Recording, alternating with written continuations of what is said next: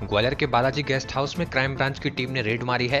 Crime branch प्रभारी विनोद दांगी ने बताया कि क्षेत्र के रहवासियों द्वारा सूचना मिलने के बाद रेड मारी गई थी जहाँ मौके से पाँच लोग मिले हैं जिनकी कोई भी एंट्री होटल प्रबंधन द्वारा नहीं की गई थी। हालाँकि बताया गया कि होटल संचालक के साथ सभी संदिग्धों को थाना लाकर पूछताछ की जा रही है।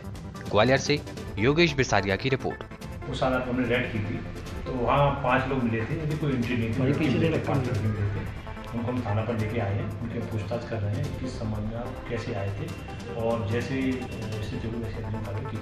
उनके साथ में और भी कोई लोग नहीं नहीं एक केवल होटल संचालक जो मैनेजर उसको लेके आए हैं उसका रजिस्टर चेक कर रहे हैं कि आपने इधर एंट्री की इनको रोका या एंट्री है इस समय पूरा रजिस्टर चेक किया जा रहा है कि आपने ये पाँच लड़के थे किस बेस पर रुके थे?